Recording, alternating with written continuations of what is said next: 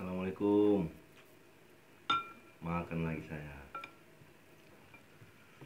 Sayur bening bayam. Campur kemangi